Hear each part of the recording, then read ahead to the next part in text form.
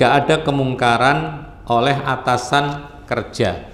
Lalu secara langsung kita selaku bawahan diperintah untuk terlibat atau membantunya. Meskipun kita berusaha mengingkari dengan hati tapi seolah-olah mendukung kemungkaran tersebut. Bagaimana hal ini? Taib. Kita memang ada tahapan mengingkari kemungkaran. Rasulullah mengatakan man ra'a minkum mungkaran falyughayyiru barang siapa mengingkari kemungkaran maka hendaklah diingkari dirubah kemungkaran itu dengan tangannya.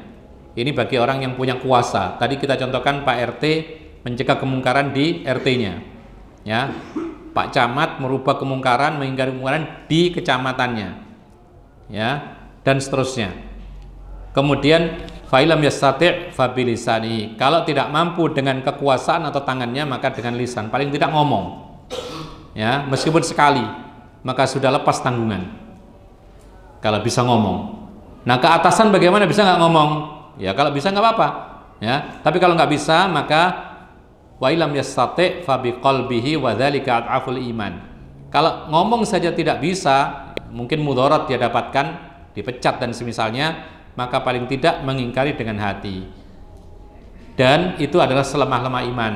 Para ulama juga mengatakan mengingkari dengan hati itu disertai dia tidak terlibat di dalam kemungkaran. Mengingkari dengan hati tapi ikut membantu ya tidak boleh. Ya, mengingkari dengan hati itu tidak ikut-ikut.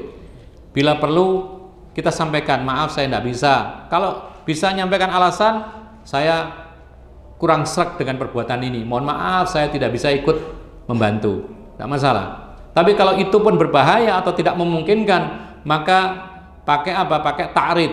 Takrit itu apa namanya bahasa-bahasa yang sifatnya itu e, ngeles gitu loh. Yang penting nggak bohong.